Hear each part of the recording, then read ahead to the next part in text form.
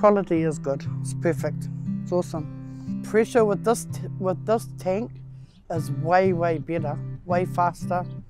Without water, you're not gonna live, are you really? Whānau water, water is life.